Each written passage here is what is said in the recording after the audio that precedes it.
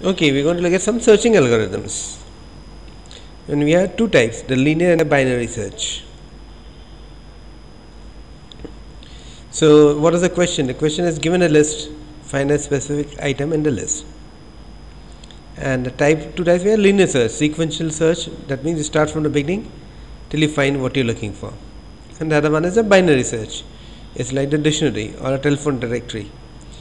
You don't actually search the whole thing, you just divide into divide and conquer in that case.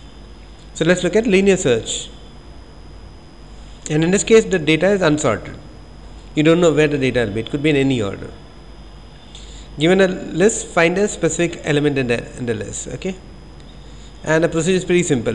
You given an array x uh, x is a, the item to find an array of a1 to an integers and you start at 1 and keep going forward till while x is not equal to ai and it's still less than n equal to n if you found it.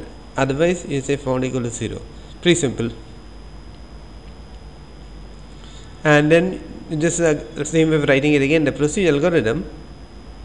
And suppose x is 3 in this case and you're looking for x and the array is this is array. In this case uh, at this point you should be able to find it. So let's see the animation how it works. You start with 1 is not equal to i equal to 1 i is less than n and i is not equal to ai 3 is not equal to 4 then i equal to i plus 1 and go back.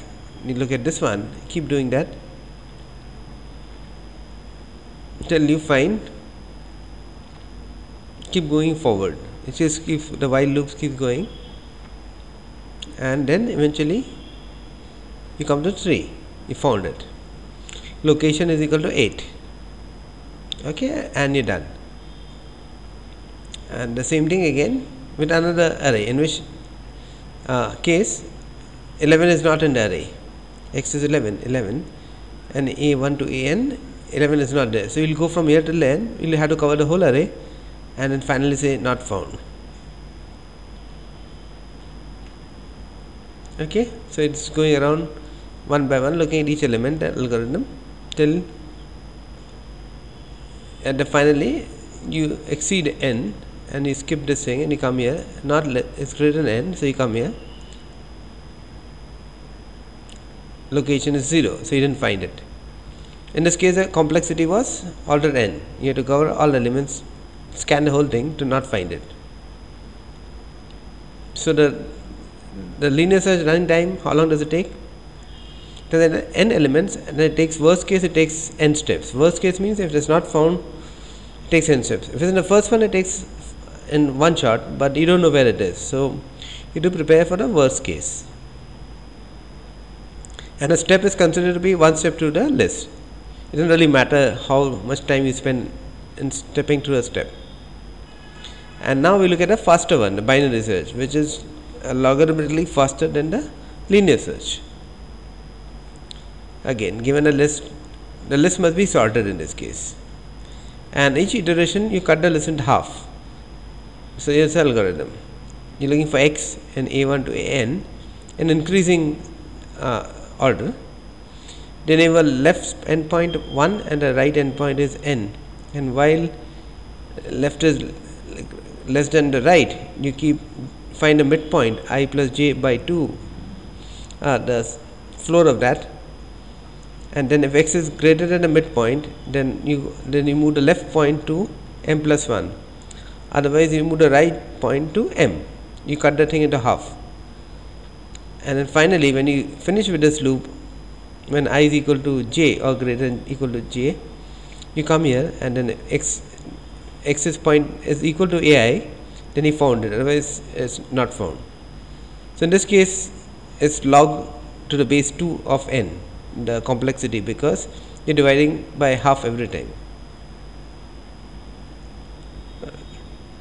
Same as before the input and the algorithm is the interface is the same and you start. X is 14 this is array sorted array so let's see how it works. I is 1 j is n. Now i less than j so you come here. M is the midpoint. Uh, 1 plus 10 11 by 2 is 5 point uh, 5.5 and floor is 5 then x is greater than am x is 14 is greater than am then i this i should be m plus 1 that means you move i is on this side. So you move this i pointer to e6 and then you start again. Again compute a midpoint. The midpoint of this is 16 at a8 and again in this case x is not greater than am so you you move a j to m j will come to 16 okay in this case now again you come back. I is less than j. So again you take the midpoint. The midpoint is this one e7 m is 7 and x is greater than am 14 is not. So it comes to again j will come here. So j will be moved to 4 this case j moves to e7 then you come back here. I less than j. Find a midpoint. And midpoint is 6 and is x. X is 14 less than am 12 no. So j is i is actually in this case x is more. So uh, so i moves to m plus 1 which is 7 and then you come back. Now i is not less than j they both are pointing to the same thing. So you come out.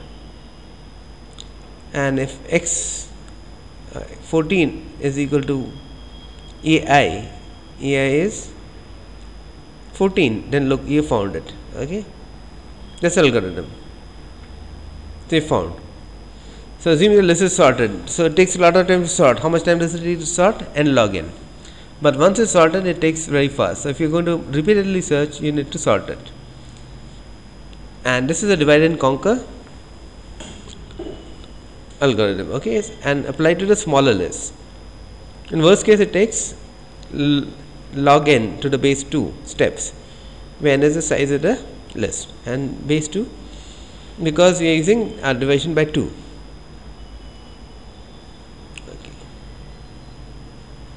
suppose let's look at example it has 8 elements in list. First time it, it takes 3 steps. Uh, and if it has 16 elements it takes 4 steps. 64 it takes 6 steps. N elements log 2 n okay? So the comparison is comparing n and log n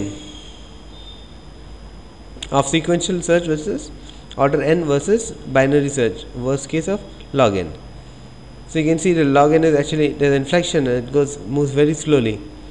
And this is linear so it just doesn't move up at all log n but linear is just uh, slope is 1 for n it doesn't really matter out here. But at 10 it takes 1000 steps uh, for and log n takes 10 steps. For a million elements it takes only 20 steps. A billion it takes 30 steps. So it's really fast for large values of n. Smaller doesn't matter. Okay that's end of it